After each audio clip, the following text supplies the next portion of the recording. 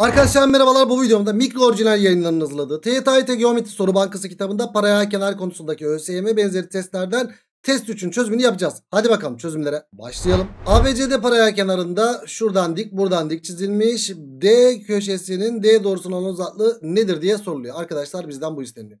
İstersen buradan dik çizerek böyle benzerlikten yap hatta bu, bu şu üçgenle şu üçgen eş üçgen çıkıyor oradan yap. 5 3 daha 8 çıkıyor bak dikdörtgen yaptım 3.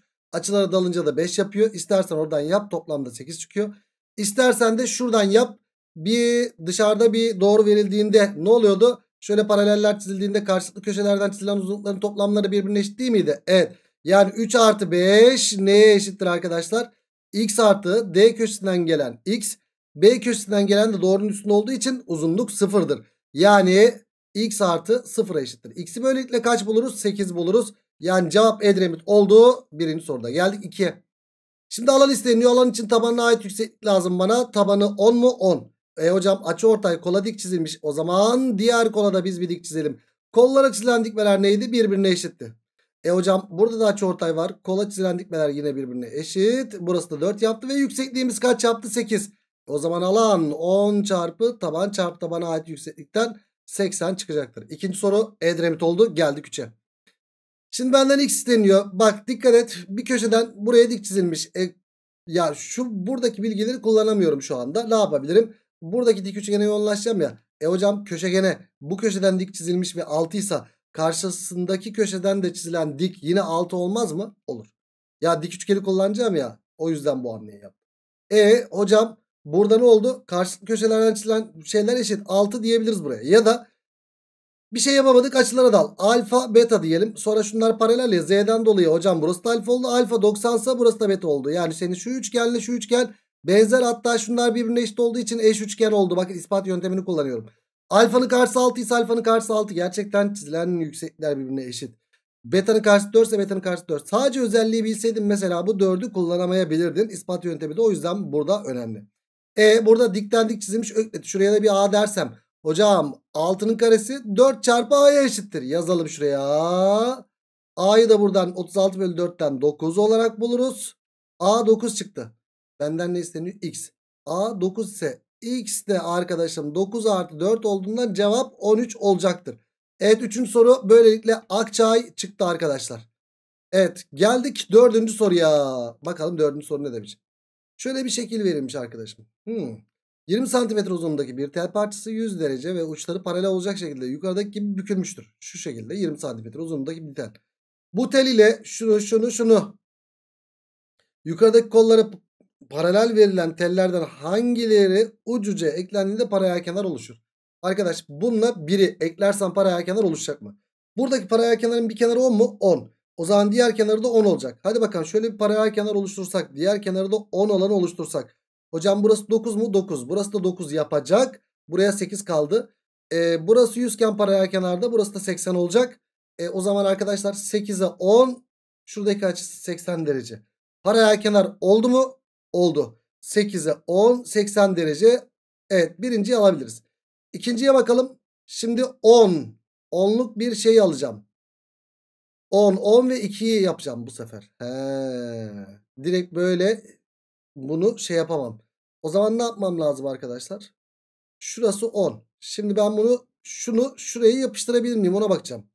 Arkadaşlar şuradaki 2'yi ben şuraya yapıştırsam bak 2 böyle gelse sonra 10 böyle gitse paralel kenar oluşmayacağı belli. 2'yi nereye koyabiliriz arkadaşlar? 2'yi şuraya koysam ben sonra 10 şöyle olsa bir de öbürü de 10 böyle olsa oluyor mu? Oluyor. Bak 2 10 10 2 10 10 koyabiliyorum. Bu şekilde de bir paralel kenar oldu mu? Oldu. Ve hatta burası 11 burası da 11 oldu. Bunlar da 10 10 oldu. Hatta 2 ile 10 arasındaki açı 100 derece. Evet gerçekten karşı köşelerde eşit. Yani ikincisi de oldu. Üçüncüsüne bakalım. 3 10 11. Hocam buraya 3 koysam. Şuraya 3 koysam. 3 10 burası da 11 olsa. Hocam burası 10'un burası 12. 9 3 daha 12. Burası da 12. Aa bu da oldu gibi. Ama açısı kaç derece? 100 derece. 10 ile 11 arasındaki açı 100 derece. Aa. Arkadaş burası 100 derece. 10 ile 11 arasındaki açı 100 derece. Burası olmaz. Burası 100 iken burası 100 olmaz. Bütün şeyler tuttu aslında. 3, 10, 11 yerleştirebilirim ki burası 100 derece olmasaydı yerleştirebilirdim arkadaşlar. Şöyle baktığımız zaman karşılıklı kenarlar eşit oluyor ama açılar tutuyor mu tutmuyor. Yani bu olmadı arkadaşlar 100 derece olmasından dolayı. Yani üçüncüyü almayacağım o zaman cevap ne oldu arkadaşlar? 1 ve 2 oldu. Cevap Balıkesir oldu. Dördüncü soruda. Geldik 5'e. Kenar uzunlukları 6 ve 11 olan 6. Evet 6. Bunu da böyle katlamışız arkadaşlar. Paralel kenarı köşegeni boyunca katlanmış. Köşegen boyunca katlanmış. Ve aşağıdaki şekil oluşmuştur. A, B ve A üstü doğrusalmış. Ha bu doğrusalsa hocam burası 6 iken burası 6 ya. Bu doğrusalsa eğer şu da üst üste binen kenarlar birbirine eşit ya 10 ya. Hocam x kenarda çizilen kenar ortay konumunda olduğu yani burası yüksekliktir. Ya da üstte binen açılar eşit olacak ya bu açıyla bu açı eşit olacak 90'ar derece olmak zorunda. E 6 10 ne üçgeni 6 8 10 üçgeninden 8 çıktı burası. Paralel kenarın alanı nedir diye soruluyor arkadaşlar bize. Tamam bizden şu paralel kenarın alanı isteniyor. Arkadaş burayı 8 bulduk. Dikkat et. Paralel kenarda şu tabana ait yükseklik olmadı mı bu? Birinci yol buradan çözebilirsin. 1, 2 ya da hocam şu üçgenin alanı 6 kere 8 48 bölü 2 24. Paralel kenarın bak bu yarısı 24 diğer yarısı da 24'tür. Ve tüm alan kaç yapar o zaman? 48 yapar diyebiliriz. Evet 5. soru Ceyhan oldu. Geldik 6. soruya. Birim karelerden oluşan bir zeminde bir paralel kenara ait iki köşe ile köşegenlerin kesim noktası işaretlenmiştir. He. Paralel kenarın iki köşesi olacak ve köşegenlerin kesim noktası olacak. Hocam paralel kenarı çizmeye çalışabilirsiniz belki. Şu paralel kenarın iki köşesi olsun burası da köşegenlerin kesim noktasıysa o zaman bizim paralel kenarımız böyle olacak diye çizmeye kalkışırsınız. Bir kere köşegenleri aşıyoruz. Tamam olabilir sıkıntı yok. Yani bir, birim kareli kağıdın belli bir parçası verilmiş burada. İşte bizden bu paralel kenarın alanı isteniyor. Vallahi arkadaşlar böyle biraz zor çözeriz. O zaman soruyu anlamaya çalışalım. Elimizde bir paralel kenar var. İki köşesi olacak. Bir de köşegenlerin kesim noktası olacak. A hocam iki köşesi ve köşegenlerin kesim noktası olacaksa eğer mesela bu, bu ve bu ve benden de bu paralel kenarın alanı nedir diye isteniyorsa ben şu üçgenin alanını bulursam her yeri bulurum. Çünkü A, A, A, A. E o zaman şu üç nokta bu üç noktadan oluşan üçgen tüm alanın dörtte biri. Yani sen burada paralel kenar oluşturmaya kalkma. Alan isteniyor ya sen şuradaki alanı bulmaya çalış kardeşim. Buradaki üçgen işte tam olarak A alanına eşit. Yani şuraya da bir A alanı yazayım istersen. İşte biz bu alanı bulursak paralel kenarın alanını da 4A olarak buluruz. Peki birim karelilerde birim karelerin içine, içine çizilmiş bu üçgenin alanı bulurken hocam şu tabana ait yükseklik sıkıntı bu tabana ait yükseklik sıkıntı bu tabana ait yükseklik sıkıntı ise ne yapıyorduk? Böyle bir şey gördüğümüz zaman bu üçgeni birim karelerin içerisinde içine alan en küçük dikdörtgeni çiziyorduk arkadaşlar. Çizdik. 1, 2, 3, 4, 5, 6 burası. 1, 2, 3, 4 burası. 2 burası. 4 burası. 2 burası. 6 burası. Hatta bu bir kare yaptı. Yani sen tüm dikdörtgenin ya da karenin alanından şu üçgenlerin alanlarını çıkartırsan olay bitti. Karenin alanı 6'nın karesi eksi. Üçgenin alanı 24 bölü 2 12. Eksi 4 kere 2 8 bölü 2'den 4 geldi. Eksi 2 çarpı 6 12 bölü 2'den de 6 geldi burası. 36 eksi kaç yaptı? 22 yaptı cevap. O zaman buradan da cevabı ne buluruz arkadaşım? 14 olarak buluruz. Bu paralel kenarın alanı isteniyor yalnız bizden. Dur sazanlık yapma. A'yı 14 bulduk. Bak bu A alanı benden ne isteniyor? Paralel kenarın alanı 4A isteniyor. Yani 4 çarpı 14 isteniyor. O da kaç yapar? 56 yapar arkadaşlar. Neymiş? Sazanlık yapmayacakmışız. Evet güzel bir soru. Bu da gerçekten hoş bir soru. ÖSYM tarzı testleri de gerçekten bu kitabın güzelmiş arkadaşlar. Güzel daha doğrusu. Altıncı soru Edremit oldu. Geldik yedinci soruya. Aşağıda düz tahta parçaları kullanılarak birbirine paralel iki ayağı arasına basamakları 15 santimetre 15 birim aralıklarla monte edilmiş bir katlanır merdivene ait şekiller verilmiştir.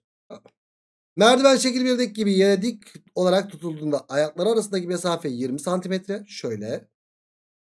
Sonra 20 birim olurken basamakları yere paralel durmaktadır. Şunlar basamakları yere paralel. Yani şuradaki mesafede 20. Bu merdiven şekil 2'deki gibi ayaklar arasındaki mesafe 16 birim olacak şekilde bir ayağı yukarı kaldırılmış. Şurası 16 santimetre olmuş. Tamam. Basamakların ayaklara monte edildiği noktalar değişmediğine göre merdiven basamakları arasındaki mesafe kaç birim azalmıştır? Önceden arkadaşlar şu merdiven basamakları arasındaki mesafe şurası değil mi? Yani 15 santimetre. Şimdi bu merdiven basamakları arasındaki mesafe isteniyor. Yani burası mı isteniyor? Hayır. Bu merdiven basamakları arasındaki uzaklık yani iki doğru arasındaki uzaklık dersek şuradaki dik uzaklık değil midir? Yani senden şuradaki dik uzaklık isteniyor arkadaşım. Ya da şuradaki dik uzaklık. Ya da aynı şekilde buradaki dik uzaklık. Tamam ne yapacağız şimdi burada? Arkadaş bu 16 verilmiş. Boş boşuna verilmemiştir. Hop şurası 16 yani şunların arasındaki mesafe. E hocam şurayı da 15 vermişti bize. Şu iki tane nokta arasındaki uzaklığı 15 vermişti. Şurası 15. 15 bir işime yaramıyor, yarıyor mu? Yaramıyor. E burası 20 ya. Dikdörtgenden dolayı burası da 20. Yani merdiven basamağı 20 santimetre uzunluğunda. O zaman burası da 20 santimetre uzunluğunda. 16 20 ne üçgeni 12 16 20'den burayı 12 buluruz. E şurası da 15. 12 bir içimize yarayacak mı? Sanki yaramıyor. Başka ne yapabiliriz burada? Aa hocam bizden bu isteniyor. Bak bak bak bak bak olaya bak. Ben burada bu paralel kenarın alanına yoğunlaşırım. Beynim oraya gitti. Çünkü tabanına 20 tabanına ait yükseklik var. O zaman alan eşittir. Ne yazabiliriz? 20 çarpı x yazabiliriz. Bizden x deniyor. Başka bu paralel kenar alanı bu tabana ait yükseklikte 16 değil mi? Aynı zamanda 15 çarpı 16'ya eşit değil midir arkadaşım? Eşittir. E o zaman sarı bölgenin alanı hem bu tabana taban ve tabana ait yükseklikten hem de 15 tabanına ait yükseklikten birbirine eşit olmak zorunda. 5'e böl 4. 5'e böl 3. 4'e böl. 4'e böl 4 kaldı. X'i de böylelikle kaç bulduk? 12 olarak bulduk. Gerçekten bu da güzel bir soru. Ama X'i 12 bulduk arkadaşlar. Bak merdivenler arasındaki mesafe burası 12 çıktı. E önceden merdivenler arasındaki mesafe 15'ti. Şimdi ne oldu? 12 oldu. Yani bizden arasındaki mesafe ne kadar azaldı diye soruluyor arkadaşlar. 15 eksi 12'den 3 olarak azaldı arkadaşlar. Yani o zaman doğru cevabımız Edremit yaptı. Kaçıncı soruda? 7. soruda. Güzel bir soruydu yine. Evet geldik 8. soruya. Bir spor alanı yapımı için paralel kenar biçimindeki bir parsel kenarları paralel yollar ile şekildeki gibi 4 bölüge ayrılmış. Arkadaşım bu bir paralel kenarmış önceden. Sonra paralel yollarla ne yapılmış? Şöyle şeye ayrılmış. Tamam bu önceden paralel kenar. Şimdi havuzun alanını 100 vermiş bize. Kafe alanını 140 vermiş bize. Park alanını da kaç vermiş? 160 vermiş ve bizden spor salonu isteniyor arkadaşlar. E şimdi hadi oranlamalara göre alan dağıtırım ama şuradaki uzunluk verilmiş mi verilmemiş. Burada alan dağıtımı yapamam. O zaman ben burada bir sıkıntı yaşayacağım gibi duruyor arkadaşlar. E ne yapabilirim? Şimdi dikkat et. Şu birbirine paralel yollar yani şu şekildeki şeyler paralel ya. Dikkat et. Şu hamleyi yapabilirim. Şunları da oranlamaları bilmediğim için yolun genişliğini bilmediğim için burada alan dağıtımı benim için sıkıntı olacak. E hocam şu paralel kenar ya şu kenarı ben buraya yapıştırabilir miyim böyle? Evet. Bak aldım onu içeriye yani şunu şu şekilde yapıştırabilirim buraya. Şuradaki boşluk gider mi? Gider. Ben bunu buraya yapıştırdığım zaman hala karşılıklı kenarlar birbirine paralel. Şunlar da birbirine paralel oluyor mu arkadaşlar? Evet. Yani paralel kenar hala çıkıyor. E, aynı şekilde hocam şu parçayla da şu parça paralel ya. Bunu da buraya getirsem. Bak şununla da şu birbirine eşit ya. Bunu da buraya getirsem. Şöyle bir paralel kenar oluşur mu arkadaşlar? Oluşur. Şu havuzluk bir yer. Şununla şunu birleştirdim bak. Şunu aldım buraya getirdim. Sonra şuradan e, 140'lık bir yer oluşacak. Şöyle 140'lık bir yer oluştu. Şurası 100'lük. Sonra burası da 160'lık. Bunu da buraya getirdim ya böyle. O zaman burası da x alanı oldu mu? Oldu arkadaşlar. İşte bu şekilde yolları iptal edince güzel bir şey çıktı karşıma. Bunu buraya yapıştırdım. Bunu buraya yapıştırdım. Bunu da buraya yapıştırdım. Yeni bir paralel kenar elde ettim mi? Elde ettim. Hatta güzel bir şey oluyor. Bak bu alan tüm alanın nesidir? Yarısıdır.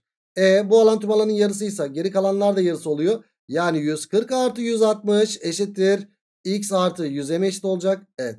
E buradan ne geldi? 300 eksi 100'den. O zaman 200 eşittir x yapar. Böylelikle x'i 200 olarak buluruz. 8. soru böylelikle denizli çıktı. Bu da hoş sorulardan biriydi arkadaşlar. Ve geldik 9. soruya. Birbirine eş 3 paralel kenar. Birbirine eşit diyor ya. 2 tane kısayla bir, kenar, bir uzun kenar elde etmişim. Buraya KK deyip işlem yapabilirim ama benden ne isteniyor arkadaşlar? Çevrelerindeki işlem isteniyor. Ee, sıralama isteniyor. Ben buraya 1 1 dersem kısa kenar 1 uzun kenar ne yaptı o zaman arkadaşlar? 2 mi yaptı? Evet. E o zaman kısa kenar 1 uzun kenar 2. 1 1 2 1. Çevre 1 ne yaptı arkadaşlar? Çevre 1 2 2 3 5 6 7 8 9 10. Çevre 1'i 10 buldum.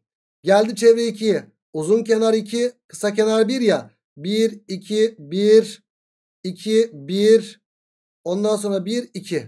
Arkadaşım şurası 1. E, tamam 2 olduğundan buraya da 1 kaldı. Tamam 2 olduğundan buraya da 1 kaldı. Şimdi ben bunun çevresine bakacağım arkadaş. 2, 3, 4, 5, 6, 7, 8. Burası 8 mi oluyor? 8 olacak galiba. Çünkü şurası 1 iken burası da 1. Buraya da 1 kaldı. 8. Sonra 9, 10, 11, 12 yaptı. Çevre 2'yi 12 bulduk. Bir daha sayalım. 2, 3, 4, 5, 6, 7, 8, 9, 10, 11, 12 yaptı. Evet. 12 bulduk burayı. Şuraya bakalım şimdi. Hocam burası 1, 1. Burası 2. Burası 1, 1. Burası 2. Burası 2. Burası 2. Hadi bakalım şunun çevresine bakalım şimdi. 2, 3, 4. Ondan sonra 5, 6, 7, 8, 9, 10, 11, 12. Bir de şuradaki parçalar da kaldı arkadaşlar. Şuradaki parçalar da kaldı. 12 artı bilmem ne yapıyor değil mi? Şöyle baktığımız zaman. Evet 12 artı bilmem ne. Çevre 3 de 12 artı x diyelim arkadaşlar. E bizden sıralaması isteniyor. Çevre 1 10. Çevre 2 12. Çevre 3 de 12'den daha büyük bir sayı değil mi? O zaman çevre 1 en küçüğü sonra çevre 2 sonra da çevre 3 mü gelecek?